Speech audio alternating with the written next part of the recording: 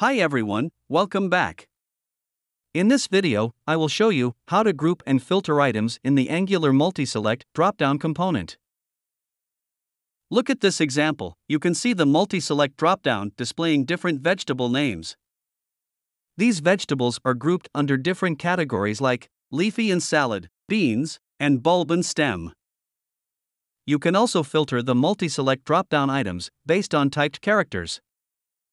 I will show you now how to group and filter the multi-select drop-down items using my Getting Started application.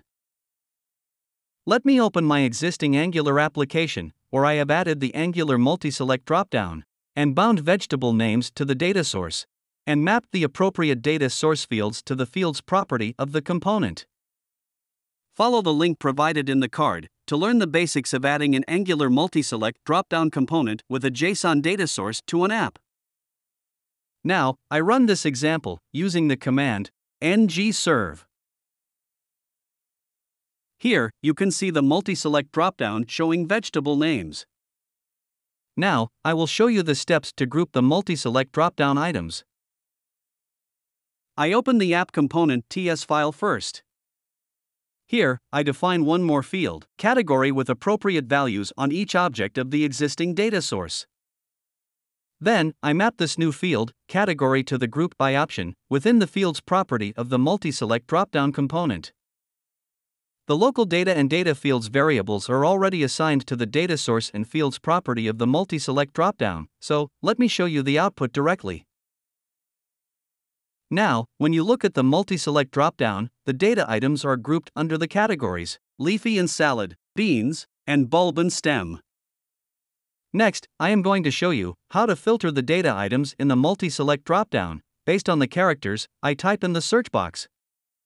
To start filtering the data items, first, I need to enable the filtering feature in the multi-select dropdown. To do that, I define the property allow filtering and set its value to true inside the multi-select dropdown code. Look at the multi-select dropdown component now.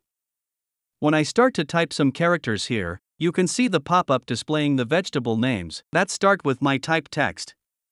Notice that, by default, the casing of the typed characters is ignored during the filtering action. Suppose I want the casing matched as I type, I define the property ignore case and set its value to false within the multi-select dropdown code. Here, you can see that, when I start to type some lowercase characters, the multi-select dropdown displays no records, due to the casing mismatch. Next, I will explain the filter types available in the multi-select dropdown. By default, the starts with filter type is applied while filtering items in the dropdown, but you can also filter the multi-select dropdown items based on ends with or contains filters. First, I will demonstrate filtering the items based on their end characters. I define a string variable multi-select filter type and set its value to ends with. Then, I assign this string variable to the filter type property. Now, if I type some characters here, you can see the pop-up showing vegetable names that end with my typed characters. Similarly, you can apply the contains filter type if you want to filter the data items that contain your typed characters anywhere in them. To apply contains filter type, I need to set its value to contains for this variable. Look at the multi-select drop-down component. If I type some characters here, you can see the pop-up showing vegetable names that contain your typed characters anywhere in them. Finally, I will show you how to filter with diacritic characters in the text. To do this, first, I will create a data source by including some diacritic characters in it. So, let me define a string array named list data and assigned the values with diacritic characters. Then, I need to assign this string array to the data source property of the multi-select dropdown component. As you know, I have assigned the array of strings with diacritic characters to the data source, so I will remove the field's property and change the placeholder value to select a value.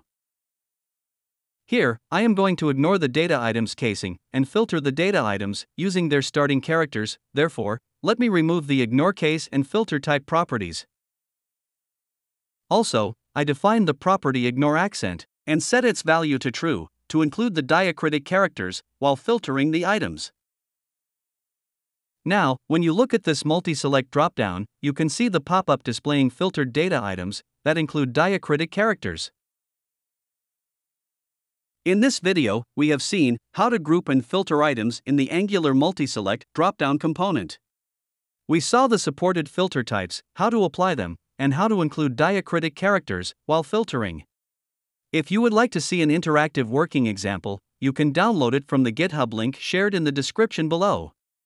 I have also included a link in the description where you can check if you qualify for our community license, which gives you a free license key for our entire Angular suite. If you found this video useful, don't forget to click the like button and subscribe to our channel. Thanks for watching.